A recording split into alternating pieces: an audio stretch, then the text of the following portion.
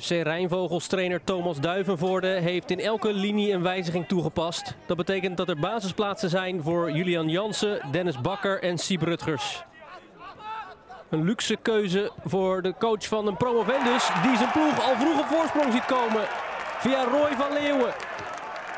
De rechterspits trekt naar binnen en scoort met links.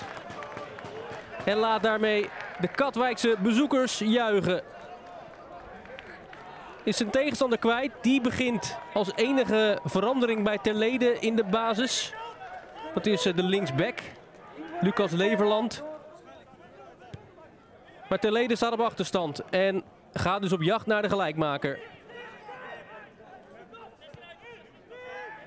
Vroege problemen voor de ploeg van trainer Nico Selé. Die kan beschikken over de broers De Kruis op de flank. Luc geeft de voorzet en Rodi van der Putten maakt het dan af van heel dichtbij. Koud kunstje voor een man die in de loop der jaren toch wel een reputatie heeft opgebouwd als doelpuntenmaker. Zijn loopbaan leek een beetje in het slop geraakt. Probeerde het bij Scheveningen weer terug te vinden. En is nu de man bij wie het draait wat betreft het maken van goals bij Terlede. Doelpunt nummer 6 van het seizoen voor de spits. En het lijkt erop alsof Telede wat bravoure krijgt. Schot van Luc de Kruis. Hij komt vanaf rechts. Zijn oudere broer Mark vanaf links. En Yannick Augustinus redt namens Rijnvogels. Neville Ogidi Nwankwo, het jongere broertje van Quick Boys, verdediger Nigel. Dit lijkt op een uh, stevig, maar ongelukkig duel. Dennis Bakker gaat neer door toedoen van Thomas Arroyo. Het ziet er niet al te best uit. Bezorgde blik op de Rode Molen na dit duel. Waarbij Arroyo stevig inkomt maar het is toch wel onfortuinlijk. En dit is een wonder. Dat Dennis Bakker op eigen kracht weer opstaat. En de wedstrijd gewoon weer gaat hervatten. Krijgt het schouderklopje van Arroyo, de boosdoener. Opluchting alom.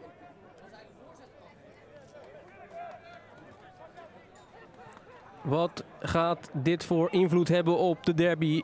Hoe herstelt de Rijnvogel zich van die tik. Nou, het scoort. Het komt voor de tweede keer op voorsprong. En ditmaal is het Sieb Rutgers die het doet. De jonge spits. Gehaald van RCL. Moet dus nog wennen aan het hogere niveau van de derde divisie. Maar heeft, zoals dat zo mooi heet, het bekende neusje voor de goal. En passeert Mark de Vries, die voor de tweede keer geklopt is.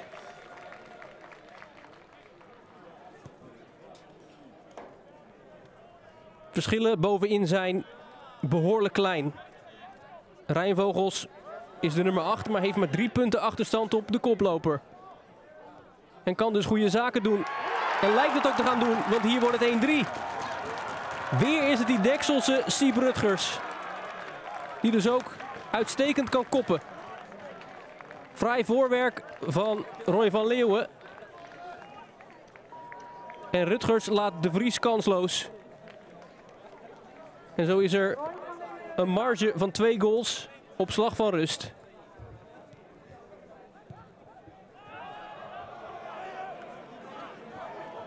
Rijnvogels wil de tweede helft beginnen met het uitdelen van de mokerslag. Dat kan hier gebeuren. Sterker nog, dat gebeurt ook. Edin Bibeljucia maakt het af. Deze vlotlopende aanval.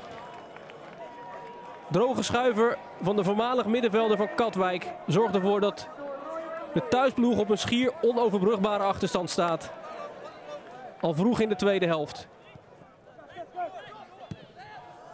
En zo is eigenlijk alle derby-spanning wel verdwenen. Kan het nog erger worden voor Terlede? Het moet nog erger worden.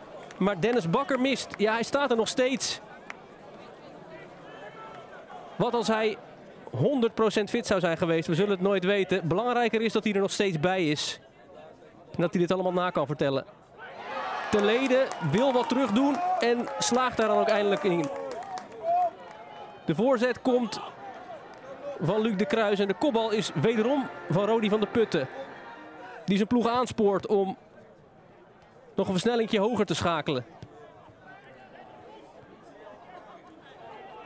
Opeens is er weer hoop.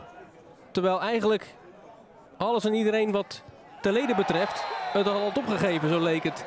En komt er ook nog een strafschop achteraan? Jawel. Scheidsrechter Rick Sturm uit Oostkapelle wijst naar de penaltystip. Omdat Mark de Kruis wordt gehaakt door Dirk-Jan van der Oever, captain van Rijnvogels.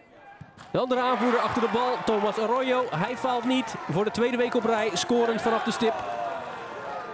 En dan heeft de rood-gele machine nog 10 minuten. Maar de oprisping komt te laat voor Telede. FC Rijnvogel slaat toe in de derby. En viert feest op de Rode Molen. Eindstand 3-4. Kun je zeggen dat jullie te laat zijn komen opdagen op je eigen feestje? Dat kun je zeker wel zeggen, ja. Uh, als je kijkt naar de eerste helft, hoe we, hoe we staan te verdedigen met z'n allen, van, uh, van achterin tot, uh, tot voorin, slaat het gewoon helemaal nergens op. Een, een derby en die, die ga je zo spelen, ja, dat, dat kan niet op dit niveau. Eindstand is 3-4. Mag je dan zeggen dat jullie het jezelf nog onnodig spannend hebben gemaakt? Zeker, zeker, zeker, ja. ja. Hoe komt dat? Ja, we moeten op gaan trainen, denk ik. Ik heb geen idee. Ja, het is wel vaker gebeurd. Uh, ik denk ook misschien een beetje nonchalant. Dat we dan gaan denken, ja, we, we hebben die 4-1, uh, ja, we zijn er al. Maar ja, je bent er nog lang niet. In de derde divisie zie je dat, dat er zo twee goals worden gemaakt. En het uh, wordt eigenlijk gewoon heel spannend.